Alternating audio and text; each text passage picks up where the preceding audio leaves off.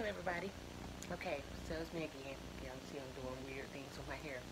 But I'm at lunch and I am eating Amy's California Veggie Burger. So I've actually had these in my little workplace freezer for a couple of weeks now. Um, but these are soy free and dairy free. Um, and there's four patties that come in the box. And you know, when you're eating vegan, vegetarian, I really don't necessarily look for something to replace a burger because I don't really like burgers anyway. But I try to look for something that's kind of quick. So look, that's what it looks like. See that? Let's see, it's got a good picture. So that's what my little vegan burger looks like. It actually tastes pretty good. Um, that's the reason I'm making this video is because I like that little um, mayonnaise. Um, this actually is not bad. So I like it. So let's look at some of the key things about it. Um, one, they started this company in 1989.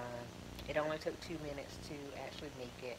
It is made from organic mushrooms, bulgur wheat, onions, oats, water, celery, carrots, walnuts, wheat gluten, potatoes, sea salt, high oleic safflower and or sunflower oil and garlic. Okay, not too too bad with the ingredients. Um, and then it is 150 calories, 4.5 grams of fat, 0.5 grams of saturated fat, but here's the kicker, sodium.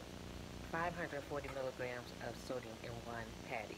So it's a lot of salt. So these two patties are going to be like drinking water for days protein, 6 gram, and of course, let's just be real, if it tastes good like this does, it probably has some salt, or fat in it because there's very little that I find in the vegetarian vegan world that's an alternative that tastes good by itself. They have to add something to it. So that's where the hard part is. Um, it, you know, but it does taste good. So that's my take on this California veggie burger. It tastes pretty good or okay. I know I don't add all this other stuff to it. Um, so that's what it is. Alrighty, bye.